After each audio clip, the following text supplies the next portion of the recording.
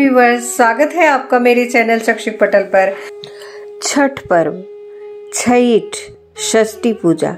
कार्तिक शुक्ल के षष्ठी को मनाया जाने वाला एक हिंदू पर्व है। सूर्य उपासना का यह अनुपम लोक पर्व मुख्य रूप से बिहार, झारखंड, पश्चिम बंगाल, पूर्वी उत्तर प्रदेश और नेपाल के तराई क्षेत्रों में मनाया जाता है।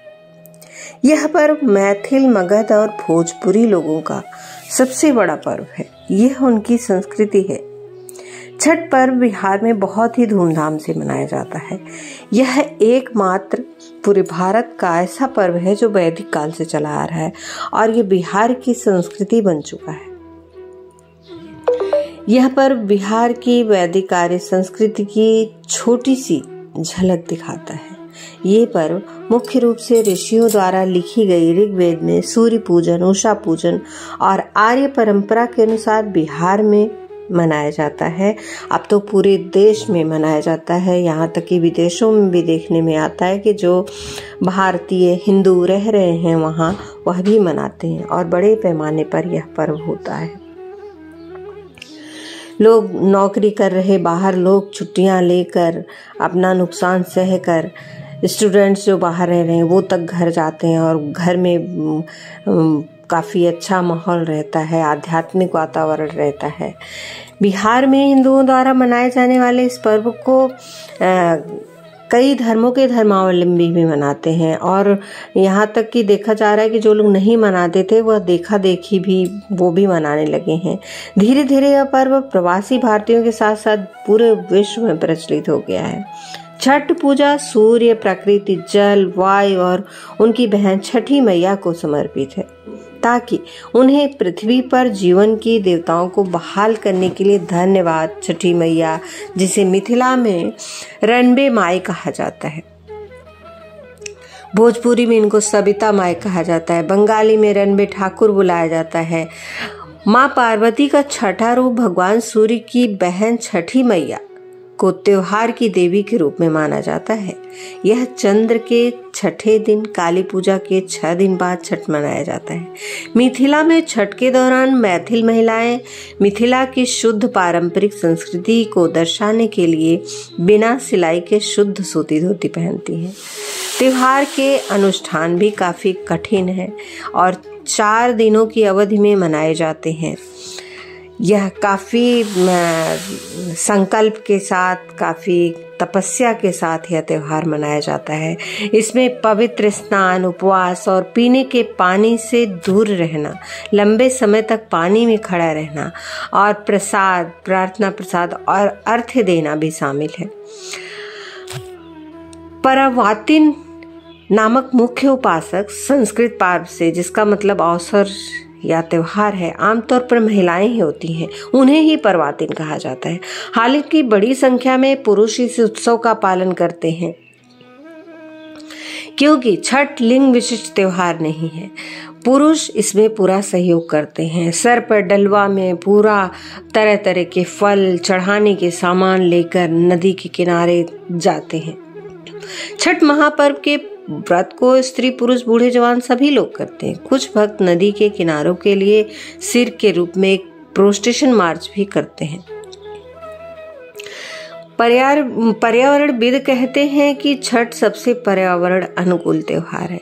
अगर आप मेरे चैनल पर नए हैं तो चैनल को सब्सक्राइब ज़रूर करें और साथ ही बेल आइकन प्रेस कर दें, जिससे आने वाले वीडियो की नोटिफिकेशन मिलती रहे और वीडियो को अंत तक ज़रूर देखें छठ पूजा चार दिवसीय उत्सव है। इसकी शुरुआत कार्तिक शुक्ल चतुर्थी को तथा समाप्ति कार्तिक शुक्ल सप्तमी को होती है। इस दौरान व्रतधारी लगभग 36 घंटे का व्रत करते हैं। इस दौरान वे पानी भी नहीं ग्रहण करते। नहाए खाए छठ पर्व का पहला दिन जिसे नहाए खाए के नाम से जाना जाता है, उसकी शुरुआत चैत्र या कार्तिक महीने के चतुर्थी कार्तिक शुक्ल चतुर्थी से होता है। सबसे पहले घर की सफ़ाई कर उसे पवित्र किया जाता है। उसके बाद व्रती अपने नज़दीक में स्थित गंगा नदी, गंगा की सहायक नदी या तालाब में जाकर स्नान करते हैं। व्रती इस दिन नाखून वगैरह को अच्छी तरह काट कर, स्वच्छ जल से अच्छी तरह बालों को धोकर स्नान करते हैं। लौटते समय वो अपने साथ गंगा जल लेकर आते हैं, जिसका उपयोग खाना बनाने में करते हैं। वे अपने घर के आसपास को साफ़ सुथरा करते हैं। व्रत करने वाले इस दिन सिर्फ़ एक बार खाना खाते हैं। खाने में व्रती कद्दू की सब्ज़ी, मूंग, चना, चावल दाल का उपयोग करते हैं। तली हुई पूरियाँ, पराठे आदि वर्जित हैं। यह खाना कांसे या मिट्टी के बर्तन में पकाया जाता है। खाना पकाने के लिए आम की लकड़ी और मिट्टी के चूल्हे का इस्तेमाल किया जाता है। जब खाना बन जाता है तो सर्वप्रथम व्रती खाना खाते हैं। उसके बाद ही परिवार के अन्य सदस्य खाना खाते हैं। खरना और लोहंडा। छठ पर्व का दूसरा दिन जिसे खरना या लोहंडा के नाम से जानते हैं। चैत्र या कार्तिक महीने की पंचमी को मनाया जाता है। इस दिन व्रती पूरे दिन उपवास रखते हैं। इस दिन व्रती अन्न तो दूर की बात है, सूर्यास्त से पहले पानी की एक बूंद तक नहीं लेते। शाम को चावल, गुड़ और गन्ने के रस का प्रयोग कर खीर बनाते हैं। खाना बनाने में नमक, चीनी का प्रयोग बिल्कुल वर्जित है। इन दो चीज़ों को पुनः सूर्यदेव को नैवेद्य देकर उसी घर में एकांत करते हैं। अर्थात एकांत रहकर उसे ग्रहण करते हैं। परिवार के सभी सदस्य उसमें घर से बाहर चले जाते हैं, ताकि कोई शोर न हो।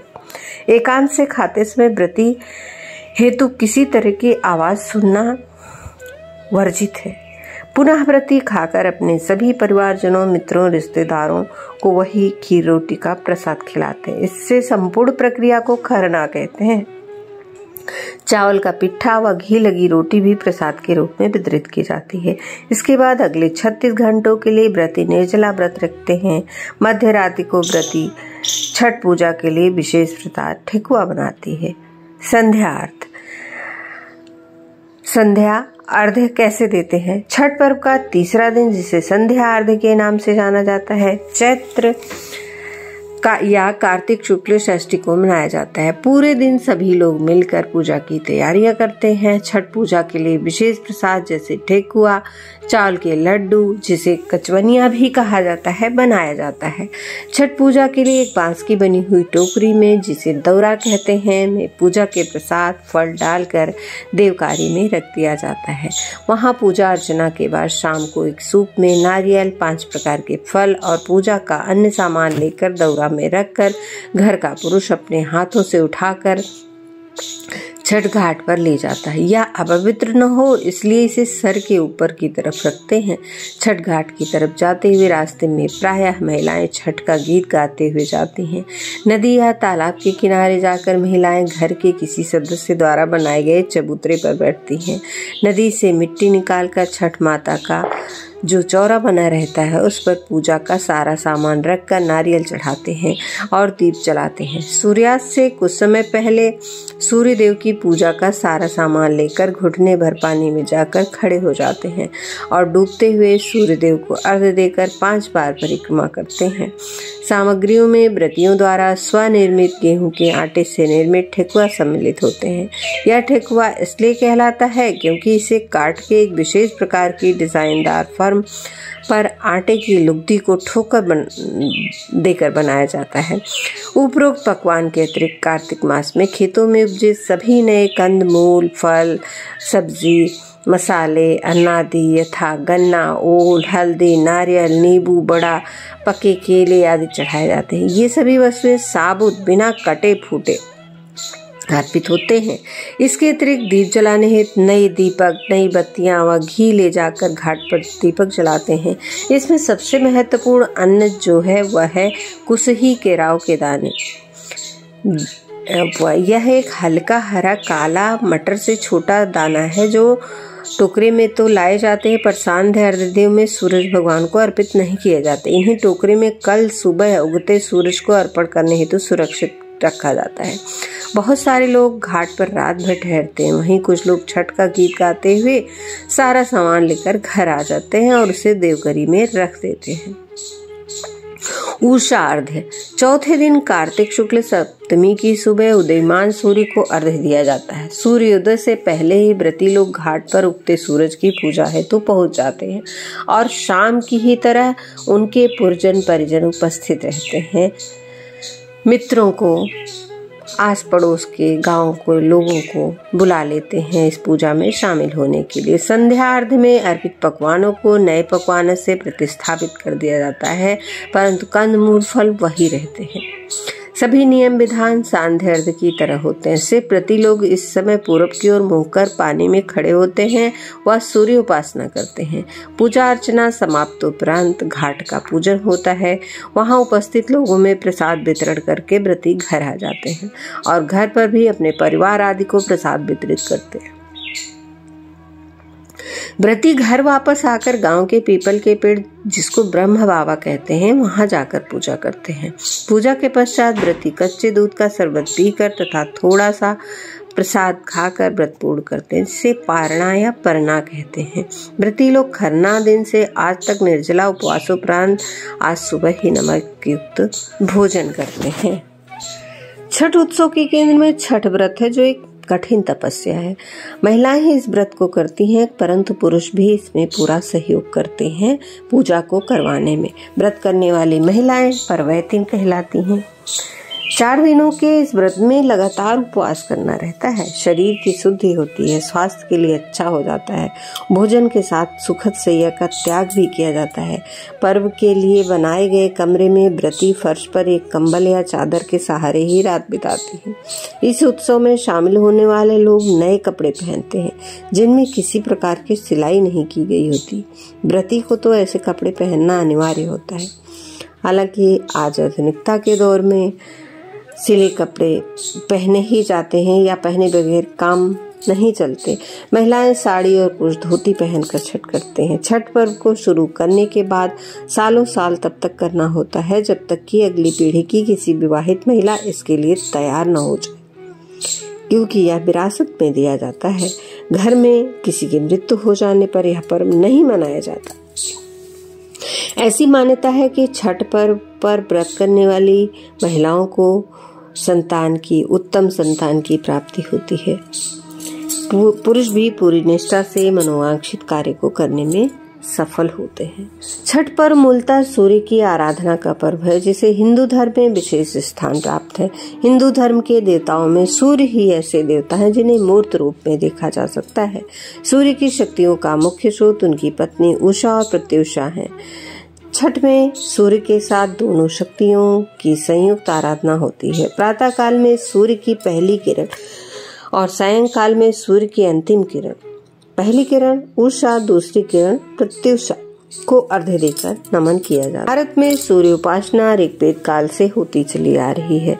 सूर्य और इसकी उपासना की चर्चा, विष्णु पुराण, भागवत पुराण, ब्रह्म, वैवर्त पुराण आदि में विस्तार रूप से की गई है। मध्यकाल तक छठ सूर्य उपासना के व्यवस्थित पर्व के रूप में प्रतिष्ठित हुआ, जो आज तक चला आ रहा है। सृष्टि और पालन शक्ति के कारण सूर्य की उपासना सभ्यता के विकास के साथ साथ विभिन्न स्थानों पर अलग अलग रूपों में की जाती है थोड़ा थोड़ा परिवर्तन के साथ। लेकिन देवता के रूप में सूर्य की आराधना का पहला उल्लेख ऋग्वेद में ही मिलता है। इसके बाद अन्य सभी वेदों के साथ ही उपनिषद आदि वैदिक ग्रंथों में इसकी चर्चा होती रही है। निरुक्त के रचयिता यास्क ने द्युस्थानीय देवताओं में सूर्य को सर्वप्रथम स्थान पर रखा है। उत्तर वैदिक काल के अंतिम कालखंड में सूर्य के मानवीय रूप की कल्पना हो गई। इसने कालांतर में सूर्य की मूर्ति पूजा का भी रूप लिया। पौराणिक काल आते आते सूर्य पूजा का प्रचलन अधिक हो गया। अनेक स्थानों पर सूर्य भगवान के मंदिर भी बनाए गए। सूर्य भगवान आरोग्य देवता के रूप में माने जाते हैं। पौराणिक काल में सूर्य को आरोग्य देवता भी माना जाने लगा था। सूर्य की किरणों में कई रोगों को नष्ट करने की क्षमता पाई गई। ऋषि मुनियों ने अपने अनुसंधान के क्रम में किसी खास दिन इसका विशेष प्रभाव पाया। संभवतः यही छठ पर्व के उद्धव की बेला हो रही होगी। भगवान कृष्ण के पौत्र शाम को रोग हो गया था, कुष्ठ रोग हो गया था। इस रोग से मुक्ति पाने के लिए विशेष सूर्योपासना के कारण ही शाम को इस रोग से मुक्ति मिली, जिसके लिए शाक्य द्वीप से ब्राह्मणों को बुलाया गया था। की परंपरा और उसके महत्व का प्रतिपादन करने वाली बहुत सारी अनगिनत, अनेक पौराणिक और लोक कथाएँ प्रचलित हैं। एक मान्यता के अनुसार लंका विजय के बाद राम राज्य की स्थापना के दिन कार्तिक शुक्ल षष्ठी को भगवान राम और माता सीता ने उपवास किया था और सूर्य देव की आराधना की थी। सप्तमी को सूर्योदय के समय पुनः अनुष्ठान कर सूर्यदेव से आशीर्वाद प्राप्त किया था। महाभारत में छठ पर्व की शुरुआत सूर्यपुत्र कर्ण ने सूर्यदेव की पूजा से शुरू की। कर्ण भगवान सूर्य के परम भक्त थे। तो वह प्रतिदिन घंटों कमर तक पानी में खड़े होकर सूर्यदेव को अर्घ्य देते थे। सूर्यदेव की कृपा से ही वे महान योद्धा बने थे। आज भी छठ में अर्धदान की यही पद्धति प्रचलित है। कुछ कथाओं में पांडवों की पत्नी द्रौपदी द्वारा सूर्य की पूजा करने का उल्लेख है। और महाभारत में विजय का कारण भी सूर्य की पूजा ही मानी गई। अपने परिजनों के उत्तम स्वास्थ्य की कामना और लंबी उम्र के लिए नियमित पूजा द्रौपदी किया करती थी।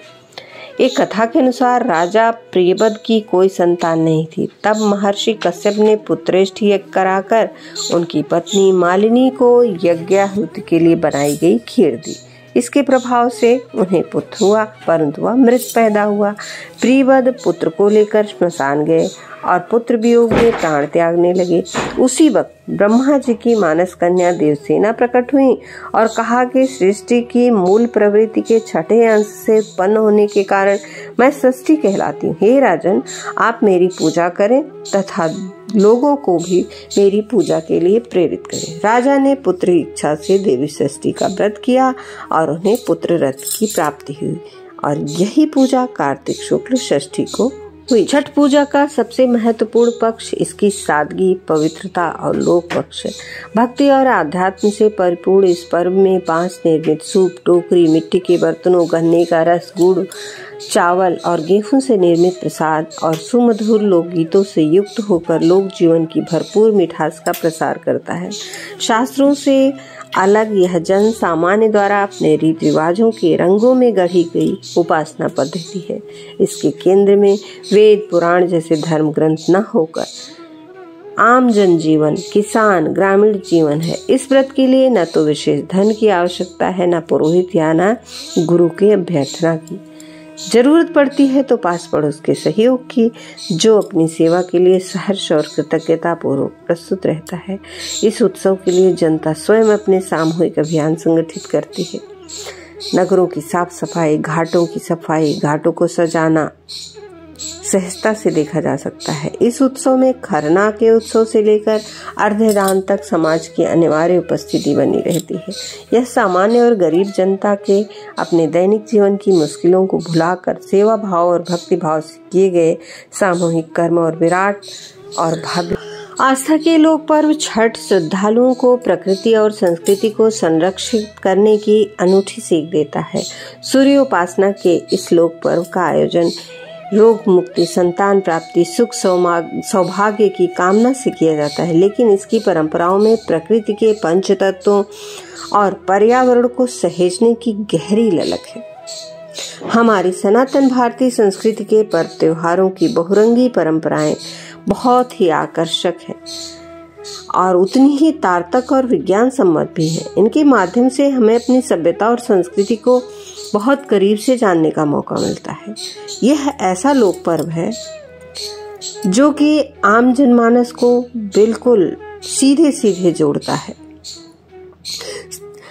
श्रद्धालुओं को, आम जनमानस को प्रकृति को संरक्षित करने की अनूठी सीख देता है। दीपावली के छह माह बाद कार्तिक महीने के शुक्ल पक्ष की षष्ठी तिथि से शुरू होने वाले सूर्य उपासना के चार दिवसीय लोक पर्व का आयोजन सूर्य उपासना के लोक पर्व, छठ का आयोजन, यूँ तो रोग मुक्ति, संतान प्राप्ति, सुख सौभाग्य की कामना से किया जाता है।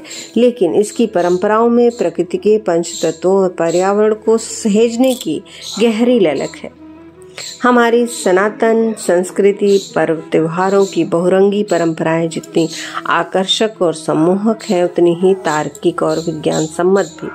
इनके माध्यम से हमें अपनी सभ्यता और संस्कृति को और करीब से जानने का मौका मिलता है। ऐसा ही लोक पर्व है छठ, जो ऋग वेद काल से चला आ रहा है। मेरे, हमारे वेदों पुराणों में छठ पर्व का उल्लेख है, सूर्य पूजा का उल्लेख है। जो श्रद्धालुओं को प्रकृति और संस्कृति को संरक्षित करने की अनूठी सीख देता है। दीपावली के छह दिन बाद, कार्तिक महीने के शुक्ल पक्ष की षष्ठी तिथि से शुरू होने वाले सूर्योपासना के चार दिवसीय लोक पर्व का आयोजन यूँ तो रोग मुक्ति, संतान प्राप्ति, सुख सौभाग्य की कामना से किया जाता है। लेकिन प्रकृति की कोख से उपजे इस लोक पर्व की परंपराओं में प्रकृति के पंच तत्वों और पर्यावरण को सहेजने की गहरी ललक है। इस पर्व पर सूर्यदेव को समर्पित किए जाने वाले अर्धदान और तत्व दर्शन भी अद्भुत है। लोग उदय होते ही सूर्य की आराधना करते हैं। व्रती जिन्हें परवर्तिन कहा जाता है, लेकिन छठ पर्व पर डूबते और उगते दोनों सूर्य को अर्घ देते हैं और चार दिन तक पूजा करते हैं, छत्तीस घंटे निराजल व्रत रहते हैं। इसमें भी पहला अर्ध डूबते सूर्य को दिया जाता है, इसका संदेश यह है, जो आज डूब रहा है, उसकी अवहेलना न कर, उसे सम्मान के साथ विदा करें, क्योंकि कल वही पुनः उदित होगा। छठ का यह अर्थ विधान अतीत के सम्मान और भविष्य के स्वागत का संदेश देता है। इस लोक पर्व में भगवान सूर्य नारायण उनकी बहन षष्ठी को छठी मैया के रूप में भावनापूर्ण नमन किया जाता है। पौराणिक मान्यता के अनुसार माँ प्रकृति के छठे अंश से उत्पन्न शक्ति षष्ठी सर्वश्रेष्ठ मातृशक्ति के रूप में विख्यात हुई है। माना जाता है कि छठ पर्व मनाने की शुरुआत महाभारत काल में कर्ण की थी। कर्ण भगवान सूर्य का परम भक्त था। वह प्रतिदिन घंटों तक कमर में, कमर तक पानी में खड़े होकर सूर्य को अर्घ्य देते थे। सूर्य की कृपा से वह महान योद्धा बने थे। आज भी छठ पर्व के दौरान सूर्य को अर्घ्य दान की वही कड़ प्रतीत पद्धति प्रचलित है। अनेकों अन्य पौराणिक विवरण भी इस पुरायुगीन लोक पर्व और सूर्य उपासना के महत्व को बताते हैं।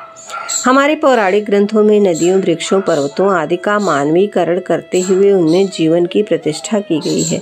नदियों को माता कहने से लेकर पेड़ और पहाड़ का पूजन करने की भारतीय परंपराओं को पूर्वाग्रह, बस कोई अंधविश्वास भले कहे, लेकिन ये परंपराएँ हमारी संस्कृति के, प्रकृति प्रेम के ही सूचक है। छठ पूजा मूलतः प्रकृति पूजा है। सनातन काल से मनाया जाने वाला यह लोक पर्व हमें पर्यावरण को बचाने और उसका सम्मान करने की सीख देता है। इसके लिए न तो विशेष धन की आवश्यकता होती है, न ही मंदिर, ना किसी मूर्ति की, ना ही किसी पंडित पुरोहित की ज़रूरत है, ना ही किसी कर्मकांड व शास्त्रीय विधानों की। बाँस निर्मित सूप टोकरी, गन्ना सिंघाड़ा केला, संतरा, सेब, हल्दी, अदरक जैसे फल व कंद तथा मिट्टी के चूल्हे पर गन्ने के रस, गुड़, चावल, गेहूँ से अत्यंत शुद्धता से निर्मित प्रसाद। और छठी मैया के सुमधुर लोकगीतों के मध्य उदीमान ही नहीं अस्ताचलगामी सूर्य को अर्ध देने वाला यह पर्व भारत के लोक जीवन की सौंधी सुगंध बिखेरता है। जन सामान्य द्वारा अपने रीति रिवाजों के रंगों में गढ़ी गई सरल सहज उपासना पद्धति इसकी खासियत है और इसके केंद्र में है भारत का ग्रामीण जीवन। यही वजह है कि बिहार, झारखंड, पूर्वी उत्तर प्रदेश, नेपाल के तराई क्षेत्रों में ग्राम अंचलों में मनाया जाने वाला सूर्योपासना का यह लोक पर्व बीते कुछ सालों में क्षेत्रीयता की सीमाएँ लाग कर देश विदेश में तेज़ी से लोकप्रिय हो रहा है। छठ पूजा का यह सबसे महत्वपूर्ण पक्ष है। इसकी सरलता, सादगी, शुद्धता, पवित्रता, शत प्रतिशत पर्यावरण हितैषी होना है। छठ पूजा पर गाय के गोबर से पूजा स्थल को लीप कर शुद्ध किया जाता है। पूजा घाटों की मरम्मत और सफ़ाई का काम तो दीपावली खत्म होते ही शुरू हो जाता है। स्वयंसेवी संस्थाएँ, राज्य प्रशासन इस काम में योगदान देते हैं। छठ के लिए, सफ़ाई के लिए पवित्रता का होना बहुत आवश्यक है। इसीलिए धुले घर आँगन फिर से धोए जाते हैं। छत की सफ़ाई का ध्यान रखा जाता है। क्योंकि छठ में चढ़ाए जाने वाले प्रसाद को ठेकुआ के लिए गेहूँ धोकर वहीं सुखाया जाता है। ठेकुआ बनाने के लिए बाज़ार से खरीदा आटा इस्तेमाल नहीं होता। धुले गेहूँ को पीसने के लिए आटा, चक्कियों की भी विशेष सफ़ाई होती है। यदि प्रसाद सामग्री रसोई में बनानी हो तो रसोई में बिना स्नान तथा चप्पल पहनकर प्रवेश वर्जित होता है। पूजा गृह में मिट्टी के चूल्हे का बंदोबस्त किया जाता है, जिसमें आम की सूखी लकड़ियाँ जलाकर पूजा के लिए मिट्टी के खास बर्तनों में प्रसाद बना बनाने की परंपरा है। सफ़ाई व शुद्धता में कोई त्रुटि न हो, व्रती इसका पूरा ध्यान रखते हैं। सारे सात्विक पकवान शुद्ध देसी घी में तैयार किए जाते हैं। ठेकुआ में आटे और गुड़ का इस्तेमाल होता है। वहीं कसार में चावल और गुड़ का। इस दौरान अगर प्रसाद में किसी ने छींक मार दी तो वह अशुद्ध माना जाता है। कोरोना काल में हम सभी ने देखा, जो स्वच्छता का जो पाठ हमने आज सीखा है, वह छठ में सनातन काल से चला आ रहा है। पूजा की सामग्रियों को ले जाने के लिए बाँस से बने दौरा या सूप का इस्तेमाल होता है वह भी परंपरागत तरीके से बनाए होते हैं। इनमें कहीं भी प्लास्टिक का इस्तेमाल नहीं होता। इन तमाम पूजा सामग्री को लेकर लोग घाट पर जाते हैं। भगवान सूर्य को अर्घ देते हैं। इसके बाद सारी सामग्री घर लाई जाती है। पूजा में इस्तेमाल सामग्री आस्था के कारण कोई सड़क या नदी में नहीं फेरता। न कोई बनावटी वस्तु, न कोई बर्बादी। इस तरह ये लोग पर्व सही मायने में पर्यावरण का सच्चा सच्चा हितैषी है। प्रकृति के साथ छेड़छाड़ रोकने, जलवायु को प्रदूषण मुक्त रखने, अगर ऐसे लोकानुष्ठानों की सामर्थ्य समझ ली जाए तो मानव कल्याण के कई अभिक्रम एक साथ सहज ही पूरे हो जाए। यही पर्यावरण हितैषी जीवन शैली अपनाने की अपील हमारे भारतवर्ष में वर्तमान सरकार भी कर रही है। बीते दिनों में जलवायु सम्मेलन के मंच से हमारे प्रधानमंत्री ने भी विश्व समुदाय से यह अपील की थी। आज के दौर में जब लगातार कट्टे पेड़ों के कारण विश्व का तापमान बढ़ता जा रहा है, तेज़ी से पिघलते ग्लेशियरों के कारण धरती पर संकट बढ़ रहा है, तब छठ से निकलते इस संदेश की प्रासंगिकता व महत्ता और भी बढ़ जाती है। घाटों पर मनने वाले छठ व्रत को सहजने के लिए एक मार्मिक सीख भी बार बार दी जाती है। यह लोक पर्व सामाजिक एकता का भी अद्भुत संदेश देता है। सूर्यदेव को बाँस में बने जिस सूप पर डाला में प्रसाद अर्पित किया जाता है, वह समाज की सर्वाधिक पिछड़ी जाति के लोग बनाते हैं तथा छठ घाट अर्थात नदियों, तालाबों, सरोवरों पर सूर्य को अर्ध देने के लिए सभी जाति के लोग आपसी भेदभाव मिटाकर एक समान श्रद्धा और आस्था से एकत्र होते हैं। इस पर्व में बाँस के सूप, डलिया, मिट्टी के चूल्हे मिट्टी का दिया, ढकना, अगरबत्ती सहित अन्य सामग्री का बहुत महत्व होता है। छठ के मौके पर इन कुटीर उद्योगों को बड़े पैमाने पर बढ़ावा मिलता है। छठ के लोकगीतों के छठा भी कम निराली नहीं, धुन, लय, बोल आदि सभी मायनों में इनमें एक अनूठा वैशिष्ट होता है। पर्व पर निहित प्रकृति की प्रतिष्ठा भी इनमें स्पष्ट रूप से देखी जा सकती है। कांच ही के बाँस के बहंगिया मरबोजे सुगुआ धनुष से किलवा के पात पर, पटना के घाट पर, इतने सुंदर सुंदर छठ के गीत हैं, जो प्राकृतिक तत्वों को पकड़कर बड़ा सुंदर और संदेशप्रद अर्थ विधान गढ़ा गया है। दीपावली बीतते ही बिहार के गाँव घरों में छठ के गीत बजने लगते हैं। गूंजने लगते हैं। इन लोकगीतों में प्रकृति संरक्षण ही नहीं, अब नारी सशक्तिकरण और सामाजिक जागरूकता के संदेश भी दिए जाते हैं। रुनुक झुनुक बेटी मांगीला मांगीला पठत, पंडित दमाद जैसे लोकगीत सुशिक्षित समाज में बेटियों की महत्ता एवं शिक्षा पर बल देते हैं। लोक पर्व का यह अनूठा विज्ञान, सूर्य सृष्टि के अर्धदान में आध्यात्मिकता के साथ आध्यात्मिकता के साथ वैज्ञानिकता का भी गहन रहस्य है। छठ पर्व पर एक विशेष खगोलीय परिवर्तन होता है। हमारे वैदिक कालीन ऋषियों मुनियों ने अपने अनुसंधानों में पाया था कि किसी विशेष दिवस पर सूर्य की किरणों की रोग को नष्ट करने की क्षमता विशेष रूप से बढ़ जाती है। इस मान्यता की पुष्टि के लिए किए गए वैज्ञानिक विश्लेषण में पाया गया कि छठ पर्व के दिन एक विशेष खगोलीय परिवर्तन होता है। इस समय सूर्य की परावैग्निक किरणें पृथ्वी की सतह पर सामान्य से अधिक मात्रा में एकत्र हो जाती हैं, तथा सूर्योदय और सूर्यास्त के समय इन किरणों की सघनता बढ़ जाती है। इस दिन कमर तक जल में खड़े होकर सूर्य को जल देने से सूर्य की इन हानिकारक किरणों के प्रभाव से रक्षा होती है। यूँ भी हमारे आयुर्वेद में जल चिकित्सा में कटी स्नान को विशेष महत्व दिया गया है।